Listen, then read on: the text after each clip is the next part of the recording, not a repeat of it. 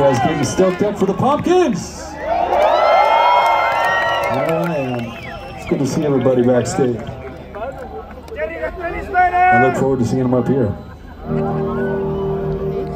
All right, we got a few more for you. You all right with that? All right, Elliot.